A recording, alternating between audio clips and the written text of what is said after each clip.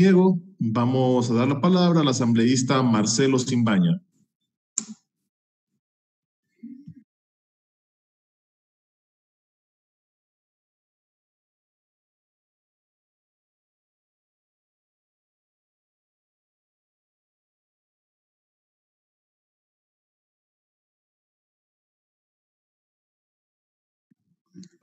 Sí, ¿me escuchan?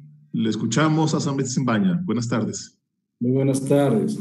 Bueno, un saludo cordial, señor presidente. Muchísimas gracias por la palabra a todos los colegas asambleístas.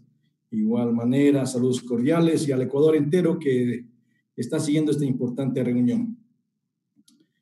Colegas asambleístas, eh, según información del Banco Central del Ecuador, la deuda pública del país ascendería a cerca de los 60 mil millones de dólares, con corte a mayo del 2020. Sin embargo, de la información que acabamos de obtener, deducimos que en este cálculo no están tomadas en cuenta precisamente todas las obligaciones que tiene el gobierno. Ciertamente, hay compromisos que sí constan en los balances del Banco Central, pero también es cierto que existen otras obligaciones fuera del endeudamiento público, que ascenderían aproximadamente a 6 mil millones de dólares. Por ejemplo, me refiero a los certificados de tesorería, saldos de las cartas de crédito por importación de derivados, acumulación de contratos de servicios petroleros, y pasivos corrientes de Petroamazonas. Repito, en estas cifras, la deuda alcanzaría los 6 mil millones de dólares. Si se considera que esta cantidad es gigantesca, debo anunciarles que todavía hay más cifras que se han quedado fuera de las cuentas de la deuda, como por ejemplo los contingentes por laudos, los pasivos contingentes por operaciones comerciales y hasta los certificados de garantía del Yasuní ITT. Y como no, también los bonos derivados de programas de financiamiento, que ascienden aproximadamente a los 4 mil millones de dólares. Representan esto el pasivo contingente de operación de derivados, así como los pasivos contingentes por garantía soberana.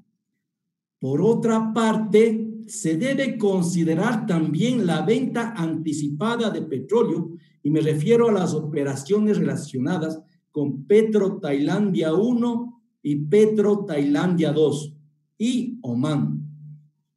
Y por supuesto, no podemos olvidar las obligaciones casa adentro que el gobierno mantiene con la seguridad social, con los gobiernos autónomos descentralizados y otros rubros relacionados con la deuda agregada pública, que también forman parte de las obligaciones impagas. Toda esta evidencia nos hace deducir que la deuda sobrepasaría los 70 mil millones de dólares en términos relativos, esto representa el 65% del Producto Interno Bruto. Una cifra escandalosa y peligrosa para el país. Y algo tan grave como este monto es que ni siquiera podemos confiar en los informes que periódicamente presenta el Banco Central del Ecuador ¿Cómo podemos estar seguros de esta cantidad o de las cifras que emite esta entidad? Si luego el gobierno se inventa el concepto de deuda consolidada y su famosa fórmula de cálculo. Obviamente, con el único objetivo de seleccionar las cifras más convenientes y así obviamente bajar el monto de la deuda pública. Es inaceptable, ecuatorianos, que se pretendan maquillar y disfrazar las cifras de la deuda escogiendo qué rubros se suman y cuáles no. están engañando al país con falacias, que lo único que logran es confundir a la ciudadanía y engañarse inútilmente a sí mismos. De lo que se olvidan nuestros brillantes economistas del gobierno es de aquel viejo adagio popular que asegura que no hay plazo que no se cumpla ni deuda que no se pague. Tarde o temprano, esto tendrá que salir a luz y se tendrán que pagar todas estas obligaciones. Que se me escuche muy bien, ecuatorianos. No necesitamos fórmulas mágicas, necesitamos coherencia y decencia. Hacer lo que nos enseñaron en la escuelita, poner en una columna todas las cifras y sumarlas. Algo que hoy en día es sumamente fácil con la tecnología. Colegas asambleístas, he sido reiterativo en todo esto, porque para hacer proyecciones económicas válidas es importantísimo y obligatorio tener datos reales y compartirlos de forma transparente con los verdaderos dueños de los recursos nacionales, el pueblo ecuatoriano. En la situación económica en que nos encontramos actualmente, me pregunto, ¿será posible llegar al límite del 40% del Producto Interno Bruto en 12 años, como propone el Ejecutivo en la disposición transitoria vigésimo sexta, sobre todo porque la manera de proyectar no es la correcta, porque efectivamente no se tiene información real que permita hacer este trabajo. Esta es la gran interrogante que dejo a la ciudadanía en este momento crítico de nuestra historia. Sumado a lo dicho, Debemos añadir que el gobierno ha seguido sin pausa con su programa agresivo de endeudamiento.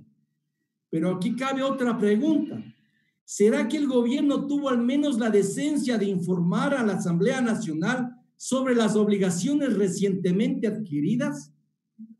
Y también hay otra.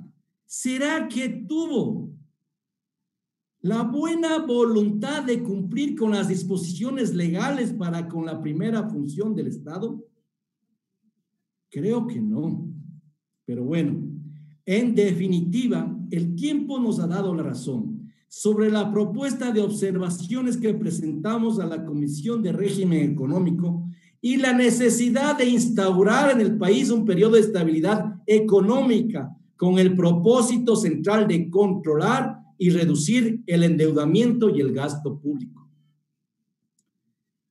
El punto de partida para hacer las cosas bien es sincerar todas las cifras sobre el endeudamiento, incluso para otorgar un sustento técnico a las medidas que se adopten en el futuro. Pero también quiero ir más allá. El Ecuador entero necesita un baño de verdad Necesitamos que los funcionarios públicos del Ministerio de Finanzas y del Banco Central nos hablen con franqueza. El texto alternativo que propone el Ejecutivo, en teoría, es bueno, o por lo menos suena bonito, pero hacer proyecciones sin información real de la deuda pública es una falacia. Nos estamos mintiendo. Es como hacer cálculos a ojo de buen cubero. Y así no creo que sea adecuado manejar la economía y las finanzas de todos. Para hacer lo correcto en esta materia, propongo una serie de puntos. Primero, reestructurar la deuda pública del país a través de un reperfilamiento de la misma, es decir, una negociación con los acreedores a tasas de interés, interés menores que las del mercado, así como un alargamiento en los plazos. Segundo, partir de cifras reales sobre el monto total de la deuda pública. Tercero, instaurar en el país un periodo de estabilidad económica de por lo menos 15 años, periodo en el cual se debe ir ajustando la deuda a montos en los que pueda manejarse la sostenibilidad de la misma. Y por último, establecer un cronograma de, de reducción progresiva de la deuda con objetivos y metas claras de forma anual. Colegas asambleístas, pueblo ecuatoriano, es imperativo hacer lo correcto, lo justo, lo ético y lo necesario. Señor presidente, muchas gracias.